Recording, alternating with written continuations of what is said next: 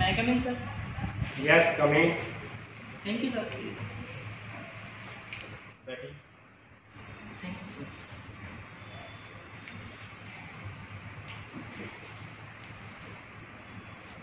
Narayan Yes, ma'am.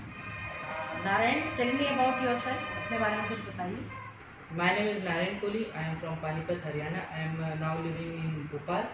I am a goal-oriented person. I am recently uh, recently ITI pass, passed out student by Draftsman Mechanical Trade.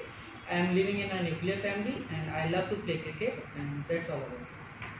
Okay अच्छा आप draughtsman mechanical के बारे में क्या जानते हैं draftsman mechanical trade जिसमें industrial industries में जो मशीन्स यूज़ होती है उस उससे उसकी ड्राइंग्स बनाते हैं और जो कि अलग अलग स्किल्स पे तैयार की जाती है नारायण आपने अभी बोला विभिन्न स्कूलों पे मशीन ड्राइंग बनाई जाती है।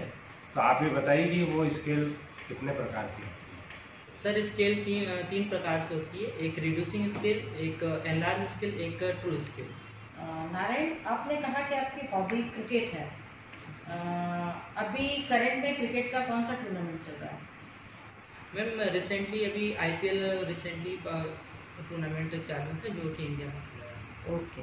आप ये बताइए कि इंजीनियरिंग ड्राइंग बनाने में बेसिकली किन किन चीज़ों की ज़रूरत पड़ती है?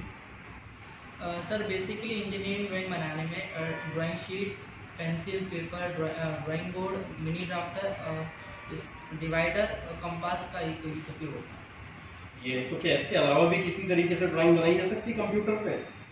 यस सर मैन्युअली ड्राइंग के अलावा हम कंप्यूटर एडेड सॉफ्टवेयर का यूज़ करते हैं। और उसके अलावा उसके अलावा हम और भी सॉफ्टवेयर का प्रयोग करते हैं जिसमें कैड आता है कैटिया आता है प्रोई आता है एंसिस आता है यूनिग्राफिक और और भी अधिक सॉफ्टवेयर का प्रयोग किया जाता है। गुड नारायण आपने बी के बारे में तो सुना होगा। Bureau of Indian standard. उसने अपने नाम्स दिए हैं जिसके आधार पर ही इंजन ड्राइंग मशीन ड्राइंग बनाई जाती है। तो मेरा आपसे प्रश्न है कि उसके अंतर्गत आईएसएस क्या है? इसका फुल फॉर्म बताइए। सॉरी सर मैं बीआईएस के बारे में जानता हूँ लेकिन आईएसएस के बारे में नहीं जानता नारायण जैसा कि आपने अभी बताया कि आजकल engineering drawing machine drawing computer से ही बनाई जा सकती है तो आप ऑटो का फुल फॉर्म बताइए। सर क्या और कैट का full form computer aided drafting है आपने ऑटोकैड में तो काम किए हैं जैसा आपके रिज्यूम में लिखा हुआ है। तो आप ऑटोकैड की टीटीआर कमांड के बारे में बताइए कि ये कहाँ यूज़ होती है। सर अ, दो ऑब्जेक्ट के बीच में टेंजेंट सर्कल बनाना हो जिसका रेडियस हमें दिया गया हो उसके लिए हम टी टी आर का प्रयोग करते हैं। आने में अलग अलग लाइन्स का प्रयोग क्यों किया जाता है बता पाएँगे? जी सर यस सर हमें किसी भी ऑब्जेक्ट को वेरियस टाइप की डिटेल्स हमें अगर देनी होती है इसलिए हमें अलग अलग प्रकार की लाइन्स बनाई जाती है।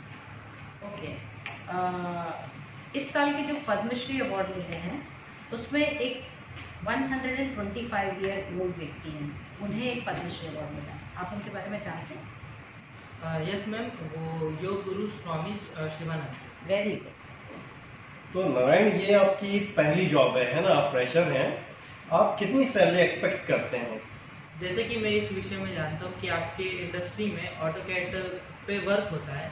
मैं टू और थ्री ड्राइंग में एक्सपर्ट हूँ इसलिए मैं कम से कम पच्चीस हज़ार रुपये सैलरी की आशा रखूँगा ओके नारायण। आपको हम इन्फॉर्म करते हैं। ठीक thank you ma'am thank you sir